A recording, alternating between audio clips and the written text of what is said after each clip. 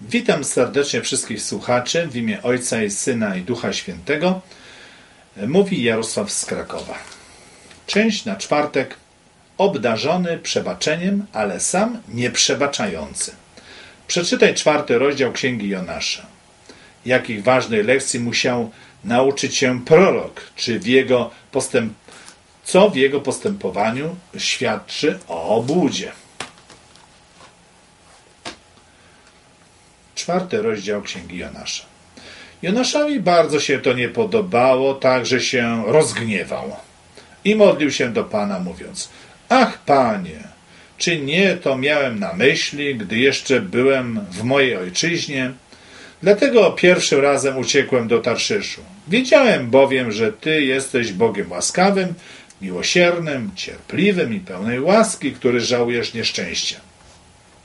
Otóż teraz, Panie, Zabierz moją duszę, bo lepiej mi umrzeć, aniżeli żyć. A Pan odpowiedział, czy to słuszne, tak się gniewać? Potem Jonasz wyszedł z miasta i zamieszkał na wschód od miasta i zrobił sobie tam szałas i usiadł w jego cieniu, aby zobaczyć, co będzie się dziać w mieście.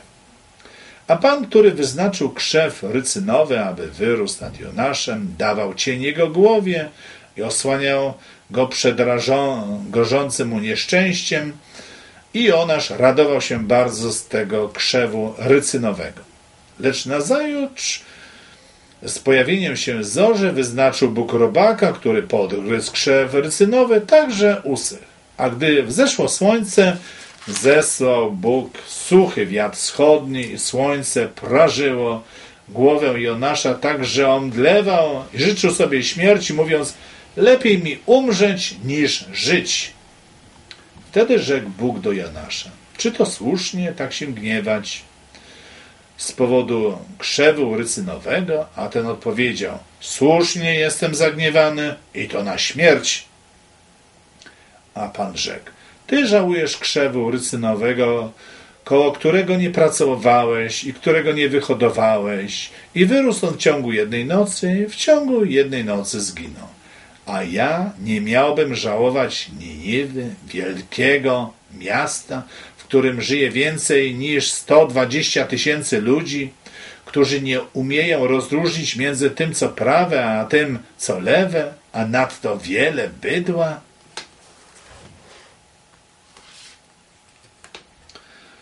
Czwarty rozdział Księgi Jonasza ujawnia pewne zdumiewające fakty dotyczące proka.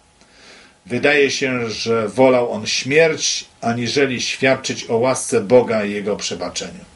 Choć cieszył się z osobistego ocalenia w obliczu śmierci, to teraz, gdy ocalona została Niniwa, wolał umrzeć niż na to patrzeć. W odróżnieniu od Jonasza Bóg jest przedstawiony w Biblii jako ten, który nie ma upodobania w śmierci bezbożnego.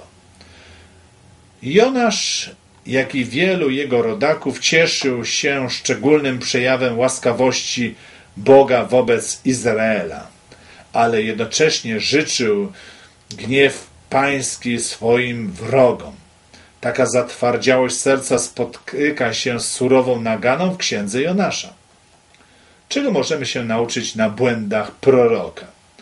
Dlaczego uprzedzenia zniekształcają naszą chrześcijańskie świadectwo wiary? Ktoś słusznie powiedział, że Księga Jonasza jest podręcznikiem, który pokazuje, jakim nie powinien być prorok.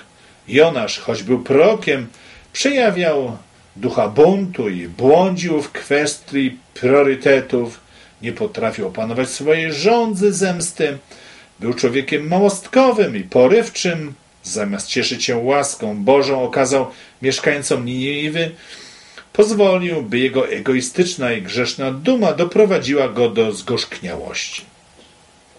Ostatnie słowa Jonasza zapisane w księdze to jego życzenie śmierci, podczas gdy ostatnie słowa Zbawiciela to potwierdzenie jego zamierzonej łaski oraz ochrona życia.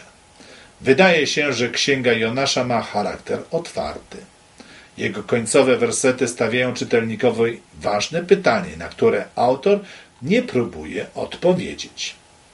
Czy cudowne nawrócenie mieszkańców Niniwy doprowadziło wreszcie do radykalnej odmiany serca Jonasza?